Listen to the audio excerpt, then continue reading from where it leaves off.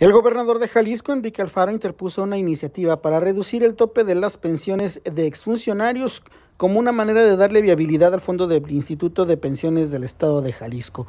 Y es que existen algunos ex servidores públicos que cobran más de 200 mil pesos al mes. Vamos a pagar, no vamos a permitir pagar esas pensiones a nadie. ¿Legalmente Entonces, se bate- puede? sí, este, estamos eliminando un transitorio precisamente para ir en ese sentido y estamos listos para dar la batalla jurídica. Y de una vez se los digo, aquellos que vayan a querer emprender en su derecho una defensa legal, que los vamos a exhibir y vamos a decir quiénes son y cuánto.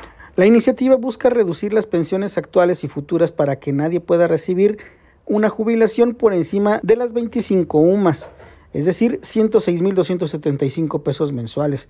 Existe un listado de al menos 130 personajes que perciben más de 90 mil pesos. Para Noticiel.mx, Juan Carlos Huerta Vázquez.